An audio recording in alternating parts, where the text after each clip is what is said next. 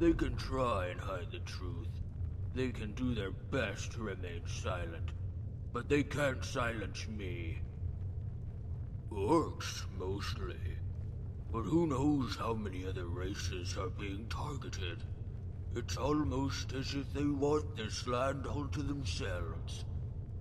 You should watch what you drink, if you plan on having children. By trial and error, I had trouble getting my wife pregnant. The alchemist said it was because I was anxious, so I drank more mead. Now I can't even perform. The shame was so great I was going to keep it a secret, but then I realized it wasn't me. It was the mead. It's too late for me, but I can still save others.